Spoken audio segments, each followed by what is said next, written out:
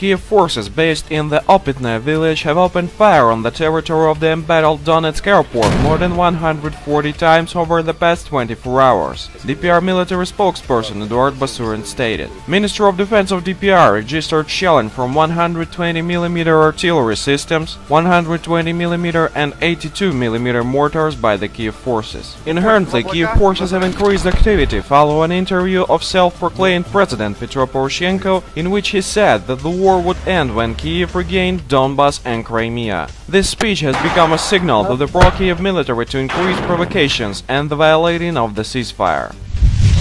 On May 2nd last year, the Ukrainian radicals set fire to the trade union house in Odessa, killing 48 and injuring over 200 activists who refused to recognize the COP-imposed government in Kiev, clashed with pro-Ukrainian football fan and radicals, including right sector nationalists. Some of the victims burned to death, while others suffocated from smoke or jumped out of the building's windows. Many of those who did jump out were strangled or beaten with bats by the attackers. Officials have already arrested 12 persons listed as terrorists ahead of the anniversary, including 50-year-old Lubov Davidchenko, mother of anti-Maidan activists Anton and Artem Davidchenko, who have fled to Russia, along with opposition journalist Artem Buzila.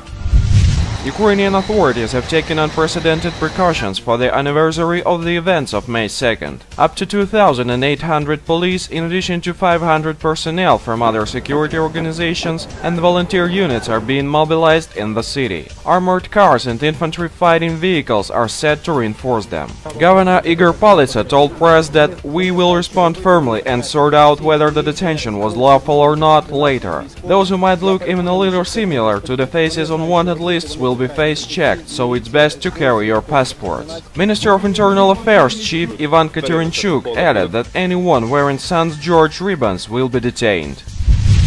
Meanwhile, Moscow has called on the international community to put pressure on Ukrainian authorities over investigation of last year's Odessa massacre. With a deep concern, we have to state that one year the Ukrainian justice system did not take any tangible steps toward an objective, independent and impartial investigation of this horrific crime in order to bring the perpetrators to justice. The statement by the Russian Foreign Ministry said. Moscow urged the international community, including human rights NGOs, to decisively and honestly, demand Kiev stage a proper investigation into the Odessa massacre and correct the glaring flaws in Ukrainian judicial system.